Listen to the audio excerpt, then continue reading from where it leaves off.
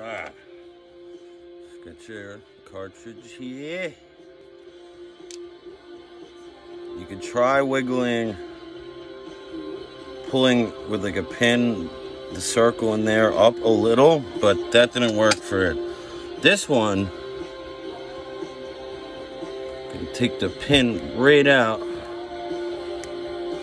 Oh.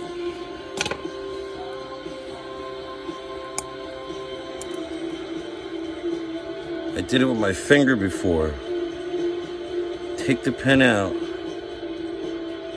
and put it back in a little bit.